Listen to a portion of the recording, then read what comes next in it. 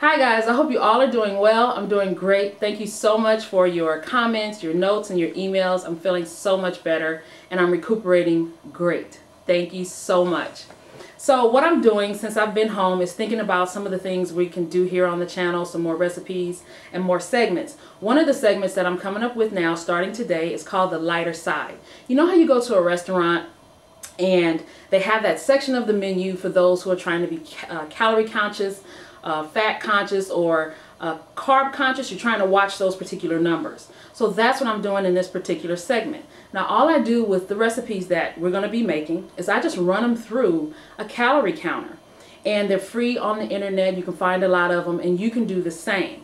So the four things that I'm going to be focusing on is calories, carbs, fat, and protein. So you can get kind of those numbers and feel free to run the recipe through your own calorie counter. I'm going to try to be as exact as possible, but my goal for calories is to be under 600 calories per serving.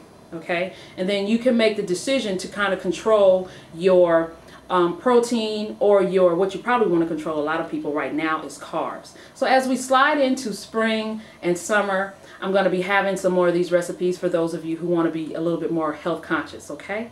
And I think that's going to be a good thing. So let's get started with our turkey, veggie, and quinoa stuffed peppers. First things first, let's get the vegetables chopped. I've already pre-chopped the zucchini and the mushrooms and the onions. Now I'm just showing you how you want to attack the eggplant. Just want to shave off some of the outer skin of the eggplant. You can leave some of it on because it is edible. And then you just want to cut it into small cubes. When you're preparing a recipe like this that calls for this many different types of vegetables, you want to cut them up in uniform pieces. For this particular recipe, we're going with those half inch size cubes. And then for the Swiss chard, we're also going to give it a rough dice. And we're doing this because we want to make sure that all of the vegetables cook evenly during the cooking time. I wanted to include a dark leafy green in this particular recipe, and so I decided to switch up from the standard spinach and grab the Rainbow Swiss chard. Now, Rainbow Swiss chard is high in vitamins K, A, and C, also iron and dietary fiber, and it worked out really well. Now we're going to move on and go ahead and cook off our ground turkey, our very lean ground turkey. I went in with some extra virgin olive oil, about one and a half to two tablespoons of extra virgin olive oil. And then I'm just going to brown the turkey off. And this really isn't even a pound. This is about three quarters of a pound. Next, I'm going to add some of the chopped garlic and I'm going to reserve the remaining garlic for when we saute the vegetables. Then we're going to add some Grand Diamond all-purpose seasoning, which can be found at gdseasoning.com. And we're just going to continue to cook the turkey until it's fully cooked.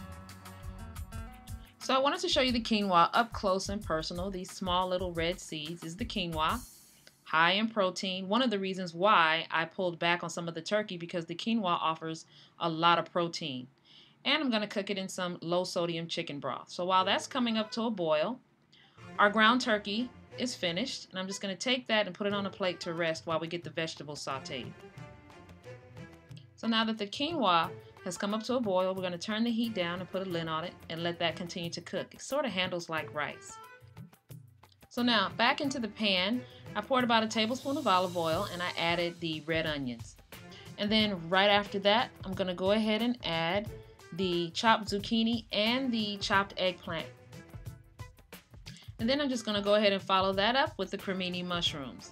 So now in this instance, we have two very absorbent vegetables in this recipe, the mushrooms and the eggplant. They have managed already, if you look at the pan, to absorb all of the olive oil that's in the pan. So now what you have to do is go ahead and give the pan a little bit more extra virgin olive oil so that the vegetables can continue to cook and brown. I went ahead and took the opportunity to go ahead and season the vegetables because we're also going to be adding the Swiss chard in there. So that was enough seasoning for this coming Swiss chard. And then look at the pan. See how dry it is? So I added about two more tablespoons of olive oil to go ahead and get the pan nice and uh, oiled up again. But not too much because remember, I can't put the garlic in the pan like that when it's dry. Otherwise, the garlic is going to burn. Don't worry, the total recipe calls for about five tablespoons of olive oil, period. So we have enough olive oil in the pan now, and it's enough to go ahead and accommodate both the garlic and the Swiss chard. So then we're just going to go ahead and stir the Swiss chard around until it wilts. Now for those of you who are going to be trying quinoa for the very first time, um, maybe via this recipe or some other recipes, this is a great way to do it because it is surrounded by familiar vegetables and a familiar protein. It's not so harsh of an introduction like if you were trying to eat a quinoa salad, maybe with some grilled vegetables. I think this is a great way to give it a try. So the quinoa is all done. We're just going to take a fork and we're just going to fluff it up. And you see the quinoa, the seeds that we started with, once the cooking process is over, the inside just kind of curls outward. And then you're just going to go ahead and add it to your vegetables and your ground turkey. And by the way, there are other colors of quinoa, like a yellow. They also have a color darker than this red particular quinoa. Um, they also come in black, I do believe.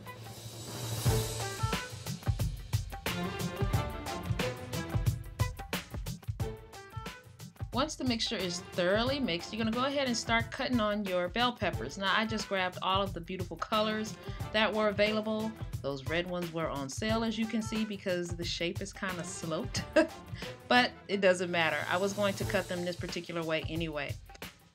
So you can either use a knife or a spoon to go ahead and remove all the seeds and the ribs from the inside of each pepper.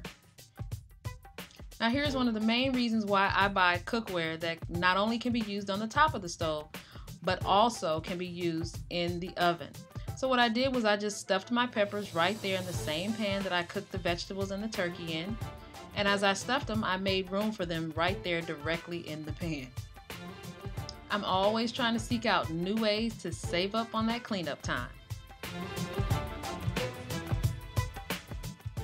You're going to have enough of the meat mixture along with the vegetables and the quinoa to be able to fill eight large bell peppers. Now that our peppers are all stuffed, we're just going to take a large piece of aluminum foil to cover the pan and that's going to help create steam so that the pepper can cook to the desired tenderness. Now I'm going to go with 400 degrees for about 35 minutes. So here are the nutrition stats per serving 384 calories, 30 grams of carbs, 20 grams of fat, and 21 grams of protein. The peppers come out of the oven. All you really have to do at this point is go ahead and eat them just like this. But what I included in the nutrition stats was a couple of tablespoons of a vegetarian marinara sauce that can go over each pepper also, I calculated a couple of tablespoons of a low-fat cheese or a cheese of your choice. Just try to keep it under two tablespoons. And then just put that back in the oven for the cheese to melt. And now you're ready to eat.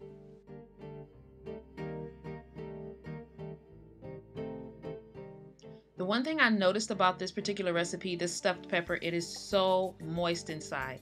And that's because of the water content of the vegetables that we use. And the peppers also give off their moisture. Really makes for a great meal that's filling but not too heavy. Thank you guys so much for joining me. Remember, these recipes and a whole lot more can be found at gdseasoning.com. And I'll see you guys next time.